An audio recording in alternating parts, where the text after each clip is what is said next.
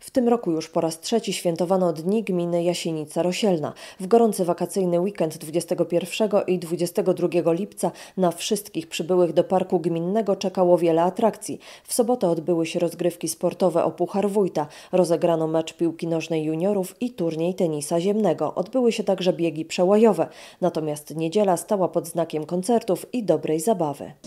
Po raz kolejny świętujemy Dni Gminy Jasienica Rosielna.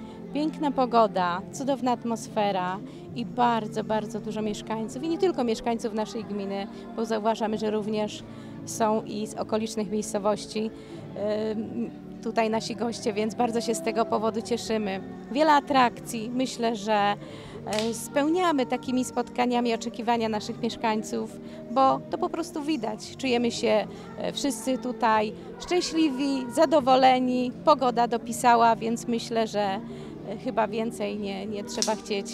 Podczas niedzielnego świętowania po raz pierwszy odbyły się wybory małej mis i mistera gminy Jasienica Rosielna.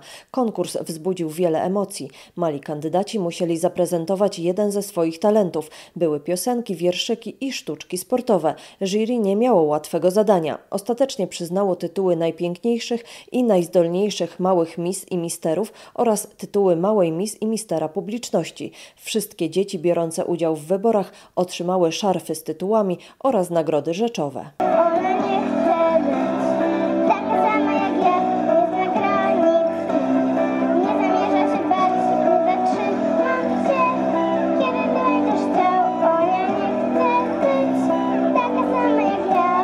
Dni gminy były także okazją do świętowania jubileuszu 40-lecia istnienia zespołu Meteoryt.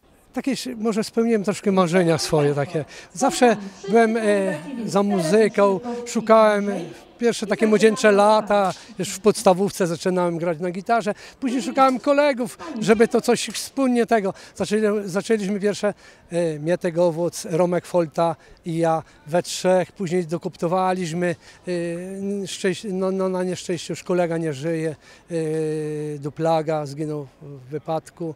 Później szukaliśmy organistę, mieliśmy e, kierowniczkę w klubie w Orzechówce, która bardzo nam pomagała. Zaczynaliśmy od takich e, występów w Brzozowie. Ta wyśniona wyłażona, która co noc mi się śni. Nie zapomnę cię na pewno,